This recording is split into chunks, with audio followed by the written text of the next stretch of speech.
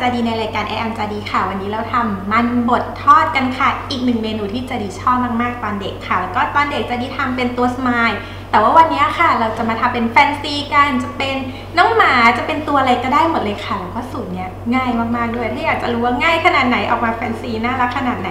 ไปดูสูตรนี้เลยค่ะมันบดทอดค่ะอย่างแรกจะดีก็ต้มมันให้นิ่มค่ะ แล้วเราก็มา บดกันใช้ที่บดหรือใช้ซ่อมก็ได้ค่ะ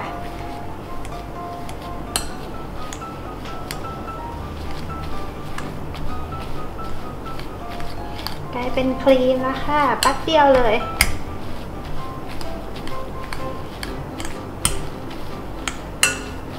ละเอียดละ เป็นแบบนี้แล้ว นี่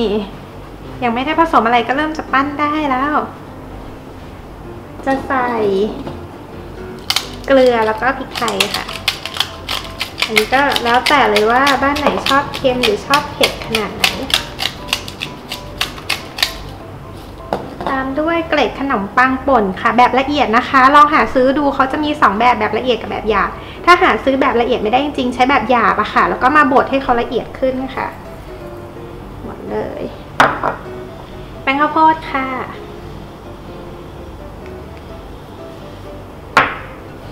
นี้ก็ผสมให้เข้ากัน เข้ากันแล้ว นี่เนื้อเป็นแบบนี้เลย ตอนนี้ก็แอบชิมนิดหน่อยได้นะคะ ว่าชอบเค็มขนาดนี้หรือว่าเผ็ดขนาดนี้ไหม อืมถ้าอยากจะดีชอบรสนี้แล้ว เดี๋ยวไปขึ้นลูกกันค่ะ คราวนี้มาเริ่มลงมือทำกันจะดีก็จะเอามันบดค่ะที่ผสมไว้ได้ที่แล้ว แบ่งมาสักส่วนหนึ่ง แล้วก็จานจะดี spray oil ไว้นะคะ จะได้ไม่ติดจานค่ะกดวันนี้จะดีมีที่ตัด cookie cutter ค่ะ เป็นรูปน้องหมา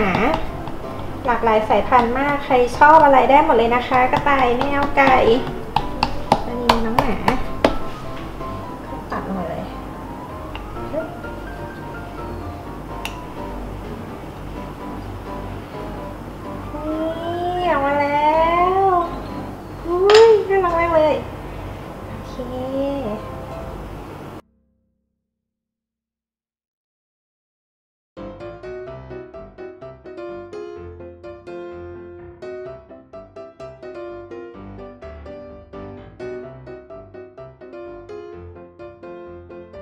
เหลือค่ะ ก็มาปั้นใหม่ได้ไปเรื่อย ๆ เลยนะคะจนหมดเลยค่ะ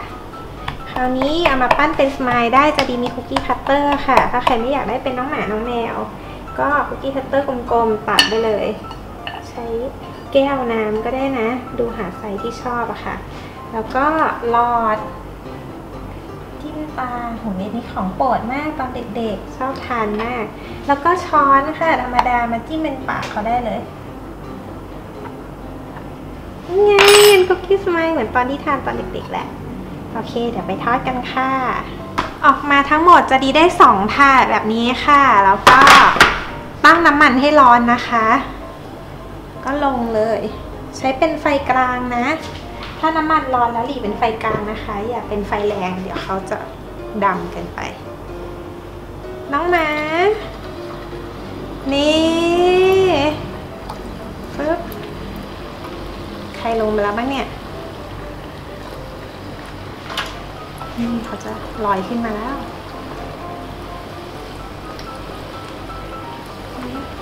เขาแบบน่ารักอะได้แล้วอาชิตะได้แล้ว นี่อาชิตะได้แล้ว ไหนดัชชุนลูกดัชชุนมายัง โอเคดัชชุนก็สวยแล้ว ได้แล้วค่ะ โอเค เดี๋ยวจะดีจะทอดไปเรื่อยๆเลยค่ะ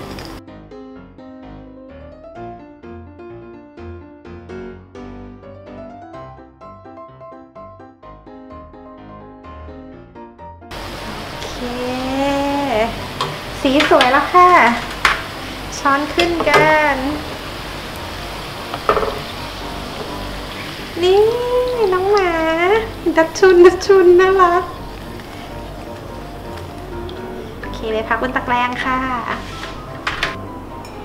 ฝรั่งทอดเสร็จเรียบร้อยแล้วค่ะ มันหมดสูตรนี้นะคะ อร่อยมากเลยค่ะ เพราะว่าเขาจะกรอบข้างนอกนุ่มข้างในแล้วแค่ไม่ใช่นุ่มอย่างเดียวนะคะ เขาจะนุ่มแล้วก็มีรสชาติด้วยจะมีแบบเผ็ดเผ็ดพริกไทยหอมๆแล้วก็มีความเค็มๆค่ะมันๆของมันฝรั่ง สูตรนี้ใครลองแล้วติดใจทุกคนเลยค่ะ ลองชิมกันเจ้าดัชชุนจิ้มซอสมะเขือเทศหน่อยนะ แล้วก็อืมกรอบนอกนุ่มในเหมือนที่บอกเลยค่ะ เมนูหน้าเป็นเมนูไหนก็อย่าลืมติดตามนะคะ ไปค่ะ ไปชิมก่อนนะ อืม